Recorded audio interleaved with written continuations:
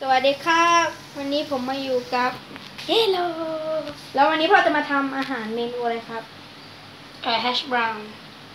นะครับ มันก็ไม่ยากหรอกครับ ก็แค่เอาพวกนี้เราเราเล่นเอาพวกนี้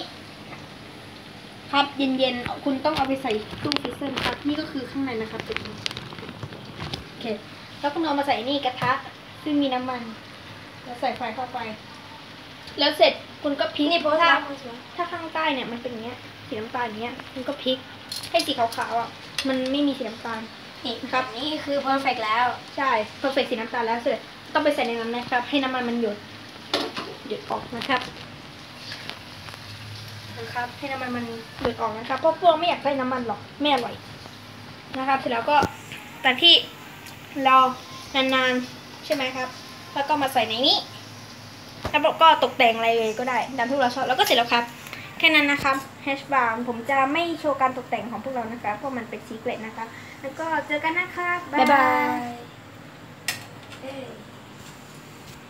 เอ้ย